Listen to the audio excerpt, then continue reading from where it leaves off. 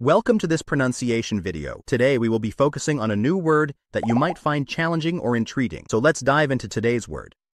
Apparel, which means clothing, especially outerwear, garments, attire, dress.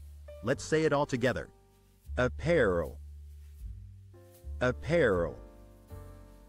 Apparel. One more time. Apparel. Apparel. Apparel. Thank you for joining us on this adventure in pronunciation. Remember, language is a journey, not a destination. Keep exploring, experimenting, and expanding your linguistic horizons. We'll see you next time.